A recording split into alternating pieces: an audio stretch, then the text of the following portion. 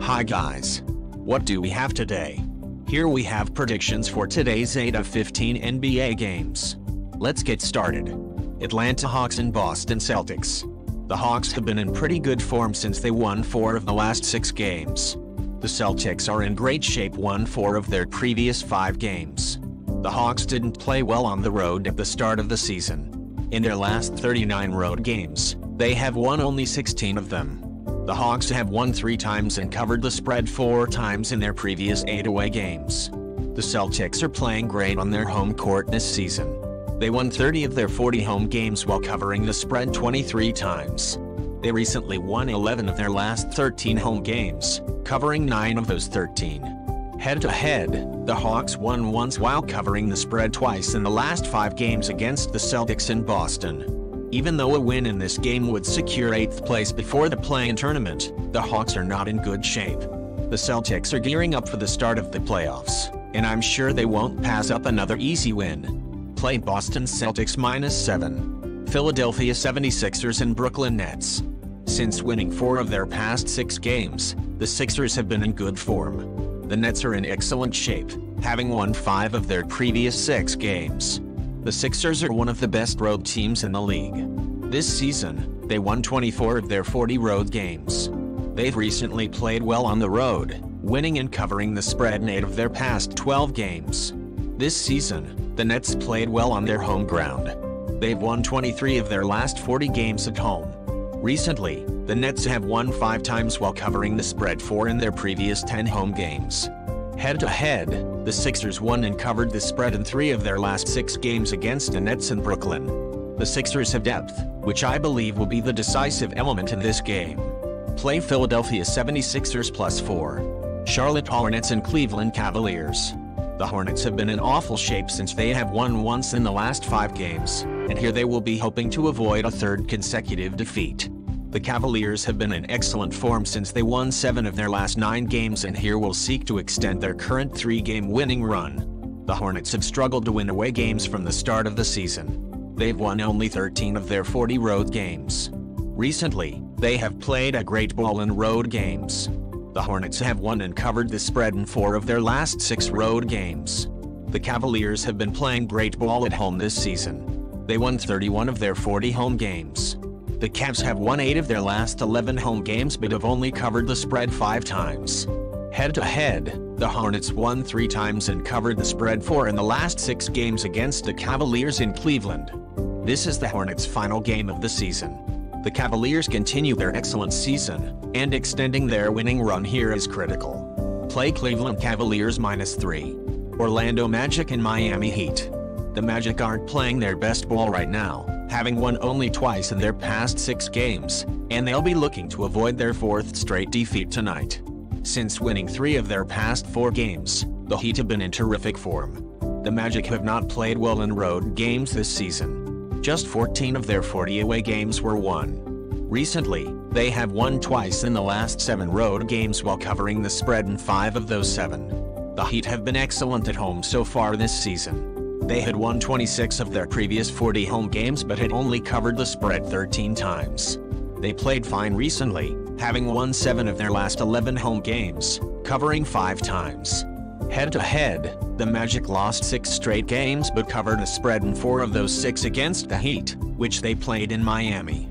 This game marks the end of the Magic's season. For the Heat, this game has no meaning, and since they are not a young team, I expect they will rest most of their key players here. Play Orlando Magic plus 5. Indiana Pacers and New York Knicks.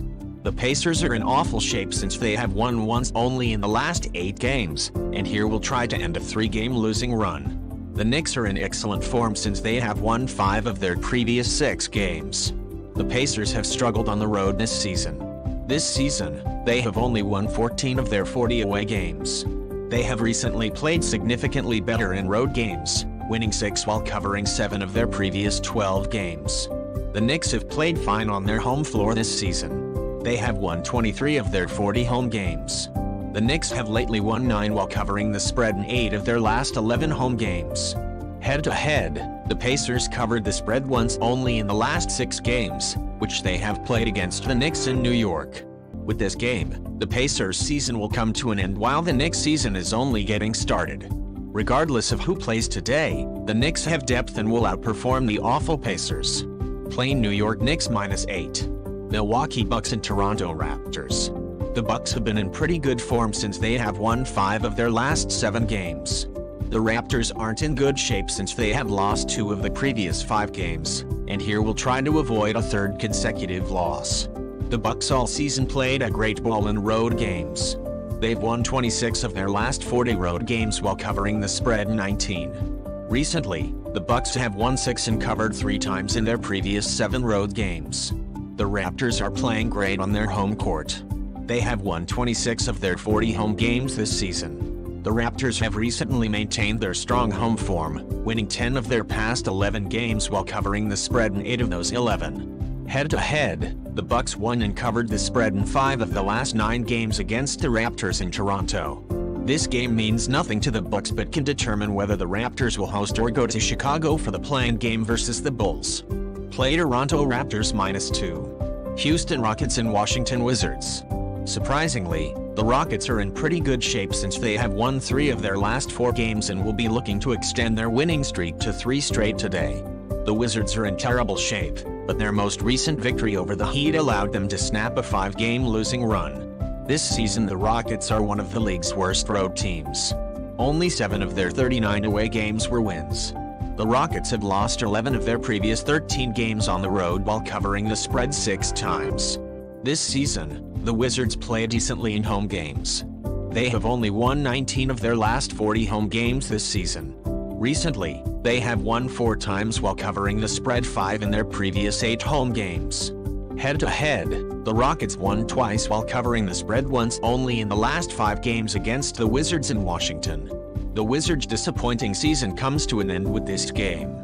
The Rockets are in great form, and I do not doubt they'll exert every effort to finish the season on a winning note.